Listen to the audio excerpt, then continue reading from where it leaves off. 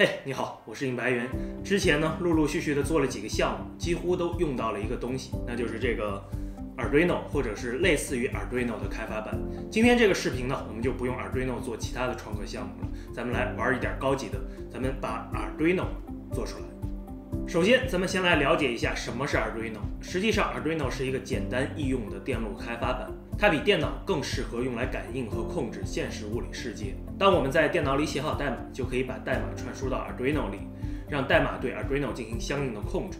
再说的直观一点，我们可以用代码通过 Arduino 来控制。LED 灯、马达、喇叭。温度计、超声波传感器、水位感应器、摄像头以及其他千奇百怪的传感器和执行器。通过准确的选用这些物理设备，再加上合理的代码控制，我们就有了各种神奇的作品。比如，我们使用温湿度传感器加液晶显示屏，就可以做一个家用温湿度计。再比如，我们用一个超声波传感器加一个蜂鸣器，就能做出一个距离报警器。你要觉得这些还不够炫酷？用 Arduino 做个四轴飞行器、3D 打印机，甚至是小型卫星也不在话下。所以呢，对于一个创客爱好者来说，能熟练的使用 Arduino，绝对是开启了一扇新的大门。不仅如此，单纯的想零基础学编程的朋友，也可以从 Arduino 来开始入门。比起枯燥的纯代码环境，用 Arduino 来学编程呢，可以让你在短期内获得更多的成就感，给你在学编程的道路上提供更多的动力。如果你只是想玩玩 Arduino 呢，最简单的办法就是直接买一个这样的 Arduino Uno 的板子，然后找教程直接跟着学习就行了。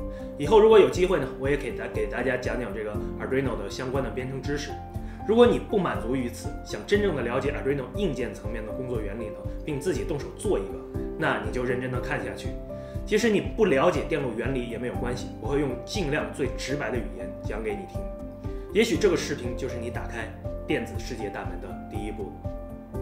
这个视频涉及到的所有资料，包括原理图、PCB 文件，我都会完整的分享给大家，方便大家学习和研究。如果大家下载完资料，认为我分享的资料足够靠谱的话，回来给我点个赞，留个言。要是你不想错过后续分享的更多好东西呢，那么也请你关注我的频道。Arduino 有很多种型号，比如 Arduino Uno、Arduino Nano、Arduino Mega 2560、Arduino Pro Mini、Arduino Zero、Arduino 云等等等等。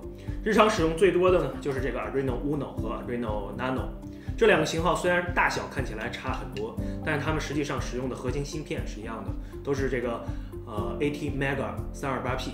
想要自制 Arduino 开发板呢，认识这个 ATmega 328P 就是第一步。ATmega 328P 呢是 Arduino 的核心芯片，Arduino 的所有核心功能都是这个小小的芯片提供的。不要被 Arduino 开发板复杂的电路所迷惑。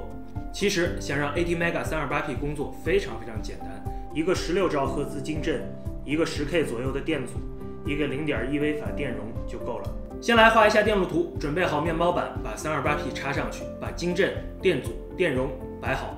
查看数据手册呢，一号是复位接角，九十两个接角接晶振。来找一下一号接角，先找到开口位置，然后按逆时针顺序数，第一个就是一号接角，把一号接角接到电容和电阻中间。再找到九号和十号接角，把晶振的引角接过去，最后再把芯片的供电电路引出来就行了。为了能看到工作效果呢，我们再增加一个 LED 的小灯。现在就可以把测试电路从电脑里取出来看一下效果了。想要让 328P 工作呢，需要五伏的电压驱动。我在这里用一个串口模块来给芯片供电。哎，我们看到 LED 开始闪烁了，ATmega 328P 最小电路就搭建成功了。实际上，对于 ATmega 328P 的最小系统，连复位电路都可以省略，只需要一个晶振，然后给芯片供电就可以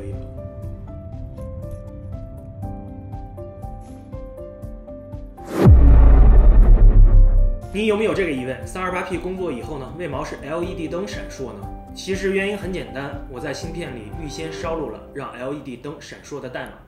那如何才能烧录新的代码，实现新的功能呢？这个也不难，我们只需要用这个串口模块，把模块的 TX 接角连到芯片的 2X 接角，把模块的 2X 接角连到芯片的 TX 接角即可。连好以后，安装好串口模块的驱动，把串口模块插到电脑上，就可以用 Arduino IDE 烧录新的代码了。现在我们来修改一下代码，让 LED 灯从闪烁的效果变成呼吸的效果，看看结果怎么样。这里还有一个知识点，在使用 Arduino IDE 烧录的过程中，需要手动将 328P 的复位接角置为低电位一下，这样才能正常烧录代码。但这个操作的成功率并不高，而且也不是今天的重点，就不详细讲了。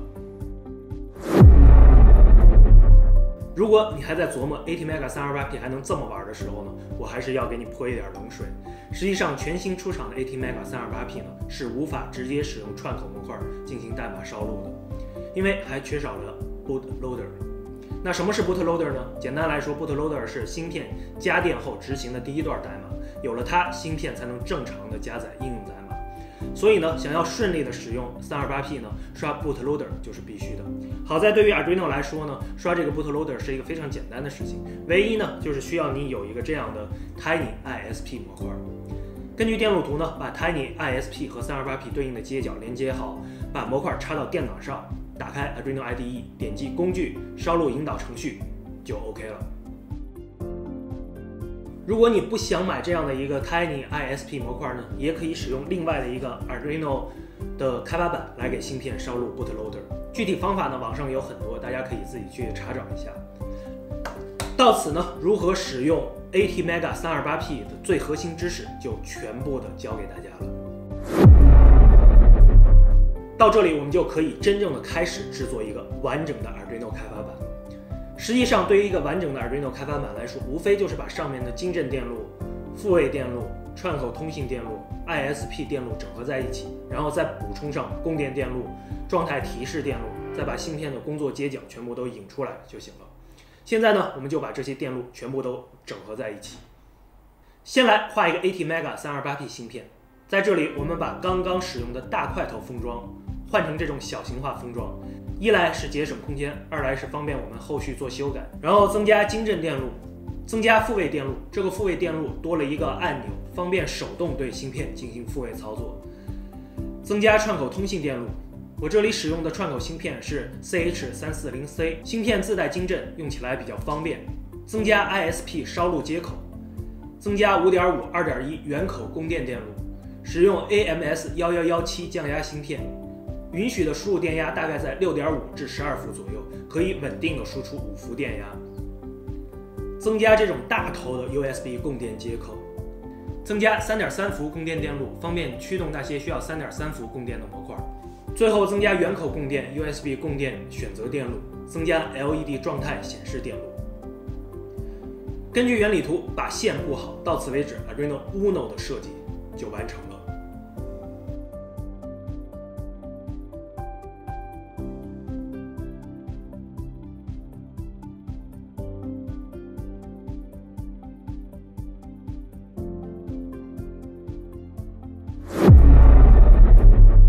在很多时候，如果可以把 Arduino Uno 变小，使用起来将更加的方便。基于刚刚的原理图，我们完全可以把 Arduino Uno 小型化，设计一个 Arduino Nano，电路几乎无需改变，只需要把一些较大的元件封装做调整就行了。这样 Arduino Nano 就设计完了。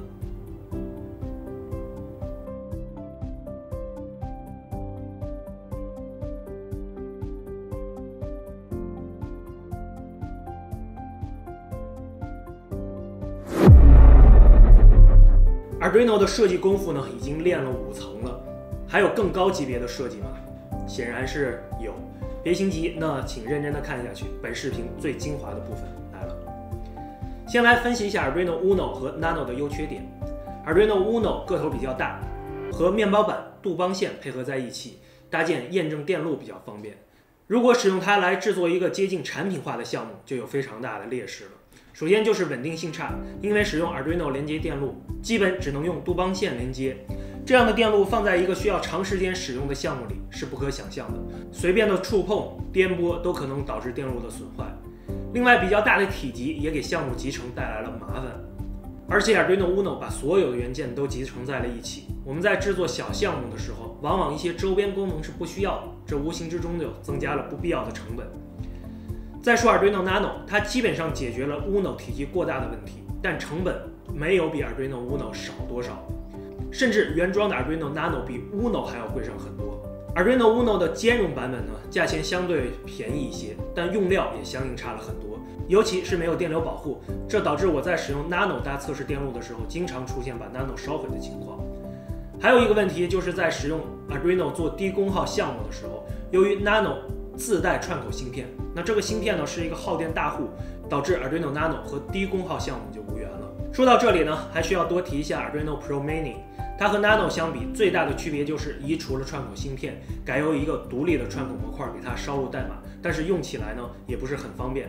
吐槽了这么多，如果不能提出一个合理的解决办法呢，那就太 low 了。解决这个问题的办法就是将 Arduino Uno、Arduino Nano、Arduino Pro Mini 合三为一。具体的思路呢，就是将供电、工作接角引出、ISP 烧录、串口传输这些功能都保留在 Arduino Uno 的底板上，将晶振、复位电路、独立供电电路保留在 Nano 上，同时通过 IC 插座的形式呢，将两者连接起来。这样，当两者插在一起的时候呢，就是一个普通的 Arduino Uno，可以用来测试圆形电路什么的。当把核心板取下来以后呢，它就相当于一个 Arduino Nano，可以用于产品化项目中。另外，这个核心板取消了串口芯片，可以减少功耗，同时增加了自恢复保险丝、三点三伏转换电路，方便其独立可靠的使用。如果需要给核心板烧录代码的时候，可以直接插在底板上烧录，也可以使用 Micro USB 线将底板和核心板连接起来。这个时候底板就相当于一个串口烧录器了。思路有了，设计也完成了，制作自然不在话下。一起来看一下最终的成品。这个是底板核心板合体以后的效果，功能大小、接角布局和 Arduino Uno 完全一致。这个是分体以后的效果，核心板的长宽和 Arduino Nano 一致，厚度则比 Arduino Uno 小了不少。核心板不含串口芯片，增加了自恢复保险丝、三点三伏供电电路，独立使用的时候更加可靠。分体以后可以用一根公对公的 Micro USB 线将底板和核心板连在一起。烧录代码的体验和给 Arduino Uno 烧录代码是完全一样的。到此为止呢，自制 Arduino 的六层功夫就全部的交给你了。不知道你现在掌握了几层？如果有大神呢，能在这六层的基础之上，还有第七层、第八层的思路，还请在下边的评论中赐教。最后重申一下，今天这个视频涉及到的所有的资料呢，都会在视频简介中分享给大家。没有任何套路，你可以随便的下载。当然，如果你觉得这个视频以及我分享的资料能够帮助到你的话，请一定要回来给我点个赞，留个言，最好能关注一下我的视频。在这里谢过大家，和影白猿一起学创客知识，做创客项目，想创客资料，成创客达人。我们下期再见，拜拜。